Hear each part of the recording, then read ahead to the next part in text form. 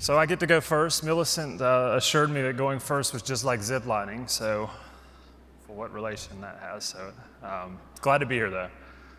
Um, you know, when we talk about sustainability, one of the things that we typically will think of is how do we, how do we make things more efficient? How do we reuse the things that we have um, and things of that nature? But some of the things that we, we tend to lose sight of is what are some of the enabling technologies that get developed that allow us to shed energy, reuse, have more control, things of that nature. So Atom Power set out to do that. We've created a circuit breaker that is enabling sustainability and at an incredible scale, much more so than we've ever seen before. Um, so to get started, I'd like to go through a quick story. This is my own story and how I got started in creating Atom Power. So my background is about 22 years in the electrical construction and engineering spaces. I actually spent the first five years of my career as an electrician in the field with a hard hat and tools before I decided to go to UNC Charlotte. Uh, just for proof, there's a picture on the screens. That's me there uh, in a hard hat and overalls uh, beside a Caterpillar generator that's getting ready to go inside of a, one of the buildings in uptown Charlotte. So this is all I know in life um, is electrical power distribution. But I feel I know it okay enough to, um, to make some, some really good changes in the world. Um, and one of the things I want to bring up is, with regards to that, is about two weeks in the trade uh, at the age of 18 years old. I actually got to witness something like this on the project I was working on. And that is a three phase fault um, you know, commercial industrial power is all three phase, usually at 480 volts, sometimes greater, sometimes less. And that's an arc flash event. And at the time, I, this is before Windows 95, but I thought that technology was further along than that, that you didn't have things that just blew up. Um, it turns out it wasn't true then, and it's not true now. So I did my own investigations at that time and just saw what was actually involved in the world of power distribution. And what I found were that really what's limiting us is actually the circuit breakers. Um, so I found some problems with circuit breakers. Um, and why circuit breakers? Because all of the power that we depend so much on, that we use every day, whether it's in this building, on a ship, on an aircraft, all go through a lot of circuit breakers. It's what protects the circuits, right? So I found some problems. A couple of them are that circuit breakers are very difficult to control. They're usually not remotely controllable. In other words, just like this that you see here, they're operated with a lever, like you'd see at your house. And also, they're static. This is something we're not used to. So, that circuit breaker that's 100 amp up there will always be 100 amp forever, never, never, and there's nothing we can do about it. But problem number one is that electricity is dangerous. There's one death per day in the US. And if it's not life and death that's a concern, it's the destruction that can be caused by short circuits, um, whether they're on ships or in buildings. So think of from a sustainability and an efficiency standpoint, what about the inefficiencies from downtime, from destruction, from life and death, and things like that? So we decided to create a new circuit breaker called the Atom Switch. It's a solid state circuit breaker. So what does solid state mean? Solid state means that it is uh, semiconductor based. We're switched, we switch with um, transistors, power transistors, which allows us to digitally control the product as well as to change its characteristics. We wanted to go a little bit further and make it intelligent, self aware, to know what it feeds in the world, but also to make it faster than anything in the world. This is actually the fastest circuit breaker we know of. It's around 20,000 times faster than most circuit breakers today. So, what does that have to do with anything? The biggest problem in safety in electrical systems is that the circuit breakers cannot move fast enough. They actually can't interrupt current flow fast enough to prevent the explosions we see, the arc flashes that we've seen. But to go a little bit further, we had to make the full slew of products. So we made the Atom switch, the circuit breaker UC, the Atom panel, and the Atom OS, which is the user interface that you use to change the characteristics of the circuit breaker. So the circuit breaker, the Atom switch, that particular one is 100 amps. It can be dynamically changed anywhere from 10 to 100 amps. Remotely controlled, has all the metering built into it. Um, you can change its characteristics from a time current characteristic. It has all the ANSI relays. If you're an engineer, you'll appreciate that. But what probably the best thing to do is to show you a quick video. I apologize for the shakiness of this video. It's not as well done as the last one. Uh, it's only two minutes, so it does demonstrate the power of what we have done here. So I'll kind of narrate this as best as I can. This is, um, so this is our atom panel, and those are atom switches within our atom panel. So we're going to do a couple things. First of all, there's no more levers, right? No more mechanical stuff. You just press buttons to turn a circuit breaker off and on we have a, uh, there's our Atom OS, so it actually shows you what's in front of you. So you can see a panel there, and then you can drill into the panel and it shows you what's in the panel. And then you can do, simple things like let's give the panel a name. Uh, you can tell it what, what its voltage class is. It'll know if something's wrong based on that.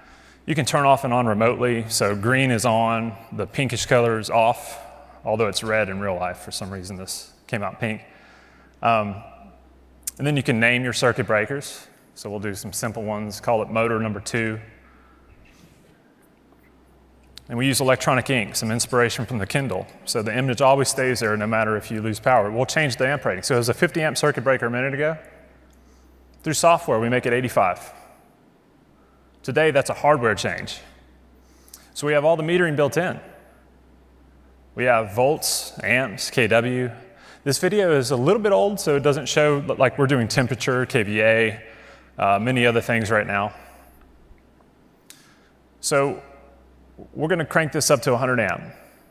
And you see the wires on the output, sorry, the wires on the output there, that's a three-phase short circuit. That explosion we saw earlier was that situation. And that was it. It actually turned on and tripped faster than anything in the world. Now, for the safety standpoint, we have about 10,000 amps available in our lab. So I got the uh, short straw and uh, grabbed the bare wires. And we're going to turn that same circuit breaker on, which would normally cause third degree burns. And that's it. That was the same circuit breaker that actually started that 10 horsepower motor earlier. So you think about it. We have a product now that has everything built into it.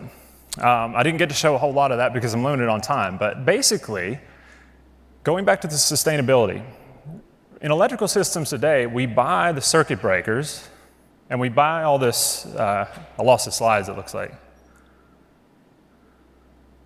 Do I press a button to get them back? Okay. There we go. Um, so I'll talk about this in a minute, but we buy all this stuff. So we buy circuit breakers and we buy the power distribution, and then we buy additional stuff to put on top of it just so we can see the power consumption, just so we can have some control over lights, over receptacles, over motors, things like that.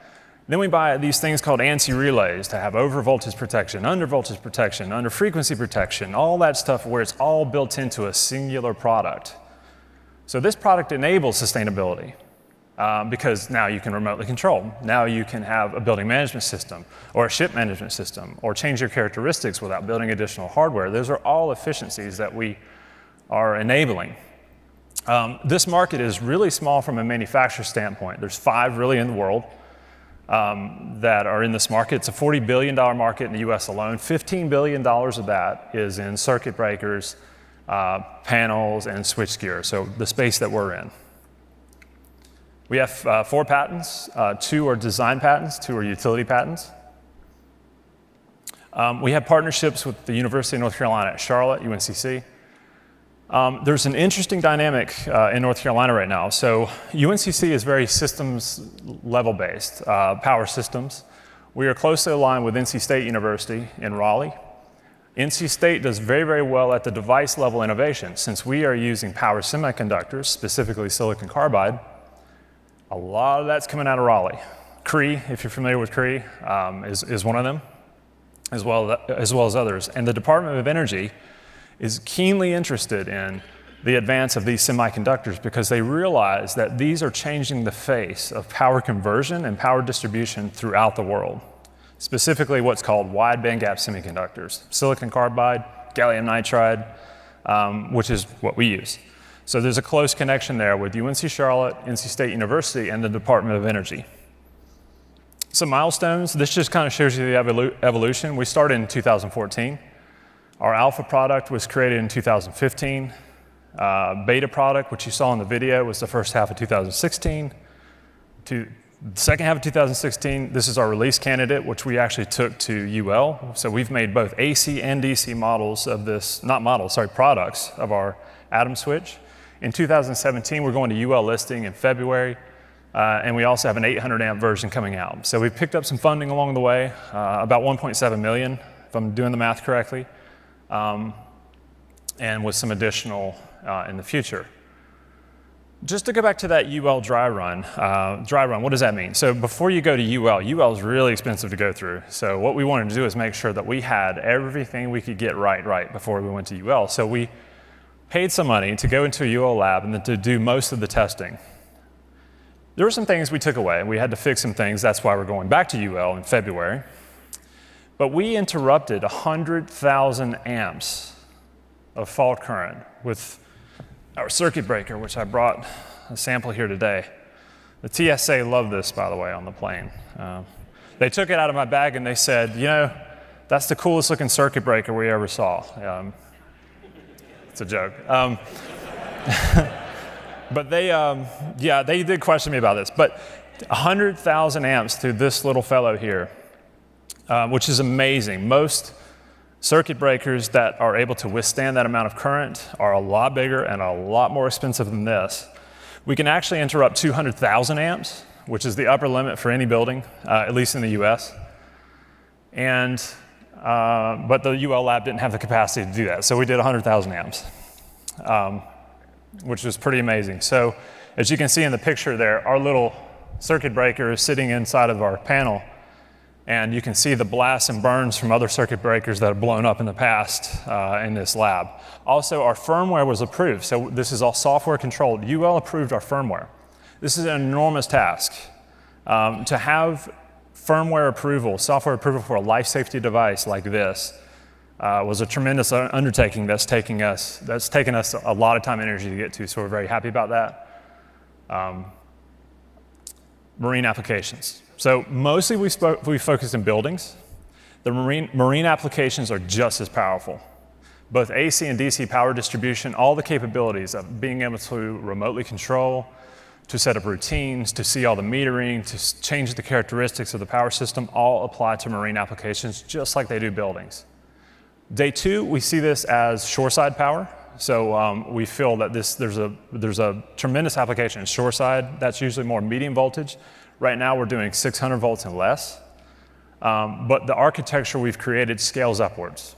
So we can use the same architecture uh, from a control standpoint and a, um, and a uh, chemistry standpoint to go up to higher voltages. Now, we, um, we pay close attention to meeting the UN Sustainable Development Goals. Uh, we feel we meet about seven right now with our products. We probably meet more as a company. We are tightly integrated with our community. We try to source locally. Um, we try to do things as efficient as we can, uh, such and, and, and, to not use any hazardous materials. Everything we do is RoHS compliant. Um, and we go a little step further than that to try to develop the ways that are going to have less of an impact on the environment as we develop our products. We are very much focused on this. So we're here today to talk uh, to, to pitch uh, for a $100,000 uh, award, and I think that uh, we've thought very much what we would do with that. So what we would do with that was to apply that to design modifications for our product to be able to be implemented in marine applications. Along with that goes uh, you know, some prototyping, having UL uh, review, um, do a construction review of our product to see that it will be UL compliant, and uh, to build prototypes and then build a beta for commercialization. That's essentially what we would do with the funds. Our team, uh, we have an awesome team. So, like I said, I've got around 22 years uh, of experience in the electrical construction engineering space, Co-founder Denis Kouroussis has a PhD in power electronics. The rest of our team is just great. Fantastic team. So this is changing the world. Fastest circuit breaker, most intelligent. It's equivalent from going from the rotary phone stage of the circuit breaker to the iPhone stage. So I encourage us to imagine something different in our power distribution. Thank you.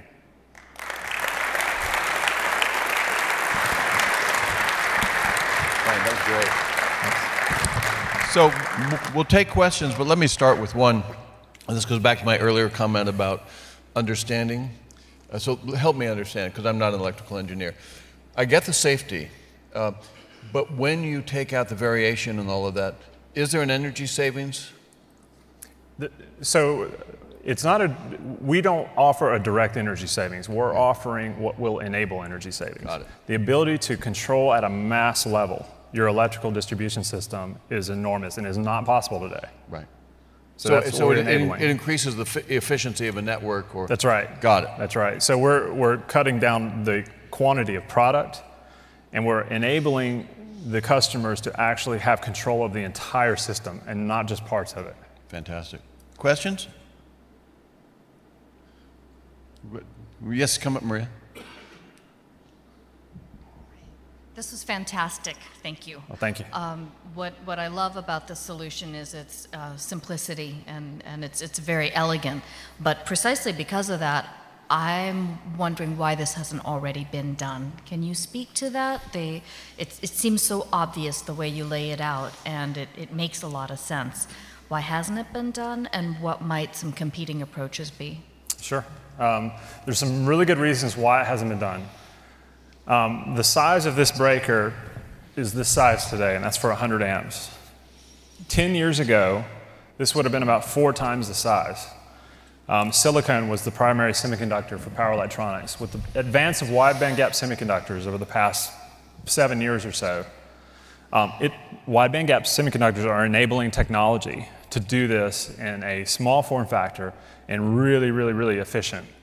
That's one. The other is the Internet of Things, um, just simply having microprocessors that are real small, um, plug and play, very adaptable, open source communication. All those things kind of combined uh, enable it. Now, why hasn't it been done? There have been attempts to, to, there have been attempts in the past. They've primarily been with chemistries such as silicon that don't really allow it fundamentally. You know, at 92% efficiency, at form factors four times the size of that, it's just not something that is um, that really sustainable. So it's kind of a combination of things. Plus, many of the manufacturers have enormous sunk costs right now in products that meet UL, and we've been using for candidly 80 years without change. So there, there's another reason. Jeff, you had a question? If you have a question, just step up to any of the microphones and, and we'll take you in turn. You, ans- you answered one, which was it's Internet of Things compliant, or you know, possibilities are endless there. Part one of the question is how small can it go? So I'm thinking Internet of Things and distribution of sensors around the world. Is it can it be? Can you take this technology and make it that small? So that's the first question. The second question: When can I get one for my house? yeah, um, we're kind of interesting question. We're actually in, in the I guess an analog would be the Moore's law of power semiconductors. Um, we are seeing smaller and smaller or higher power densities. Uh, just in the, the, two years we've been in business, we've seen that uh, the power densities double, the sizes get cut in half. There is a certain limit we're going to hit because you have to pass electrons, right, to flow current. So we're actually not going to get, you know, smaller and smaller smaller like is happening today, but uh, with, with um, you know, uh, computers, uh, you know, microprocessors, but um, it will get smaller. You know, I think that there's um, there's certain returns that that aren't there. You know, you get to a certain size and it doesn't really pay off to get smaller and smaller. It's more about um, you know, uh, fitting into a certain form factor that people are used to seeing. As far as residential goes, uh, we're not in the residential market right now. Uh, we actually were asked by many folks out there um, that are in the marketplace, when are you going to have something for residential? It's very hard to compete in residential. Residential is highly commoditized. Um, and the, there are value propositions there, but not most of them aren't there in the residential side. Most folks don't care about you know controlling their circuit breakers really. I mean, maybe they do, but um, to pay there, there is a premium. So that at least right now there is. So we're focused primarily on three-phase commercial and DC. We, we have one, one phase where if we have the washing machine going and use the microwave, so, but people are interested in circuit breakers, believe me. So, uh, going along that whole line of questioning with home related stuff, uh, if I have a $20,000 stereo system there isn't any metal oxide varistor system that I could rely on that could really protect that. It seems like that could be a good entry level uh, product because you could go charge $500 for something that you could absolutely certify will never actually fail to protect that piece of equipment. Is that something you think you could go after? It, it, it is. Uh, it is actually. We're, we're, that's how we're approaching the UPS markets in particular. Um, you know, we, a good thing you bring up that I didn't have time to cover is that we, we prevent everything. Uh, short circuits, lightning strikes, we actually have surge suppression built in. Um, we are protecting under and over voltage frequency. All this stuff is built into one product. I think there is an application because uh, speaking of the sustain sustainability and efficiencies, UPS systems, for example, are built to withstand the maximum short circuit that they could see. So they're actually not right sized. Power electronics, power conversion, the conversion from DC to AC, you know, from solar, wind, UPSs, batteries, things like that. We're actually enabling them to be right sized to be able to be a lot smaller and a lot more efficient because we limit that fault so much that's, that's never been possible before. Mm-hmm. So then, if you did have it outfitted for a house, you might be able to guarantee that no one in the house could get an electrical shock, right? That's day two. Day one, that's not the case. We, we don't have mm-hmm. shock and arc flash are two different things.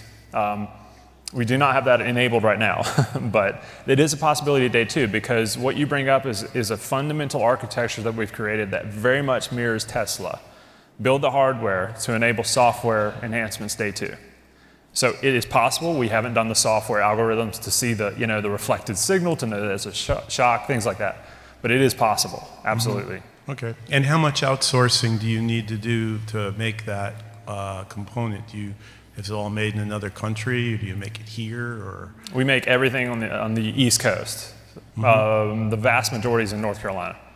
Including the chips and stuff? Including uh, the, the, the, microprocessor, no, those are all TI products, but mm-hmm. um, from the semiconductor, the power, let me bring this up here. From the power semiconductor uh, that's really located here, the silicon carbide, is all made in Raleigh, North Carolina. Yeah. Great. Thank you. Thank you. Next. Great presentation. Um, a question I had was um, that basically you are using a circuit breaker now to, it's kind of a variable circuit breaker which can adjust. But have you ever thought about energy monitoring? Because potentially, if you can control it, you can also monitor what's going through it. It's, it's built in. So uh, can that be used, uh, energy, if you have energy monitoring capabilities, then you should be able to provide cost saving info as well? That's right.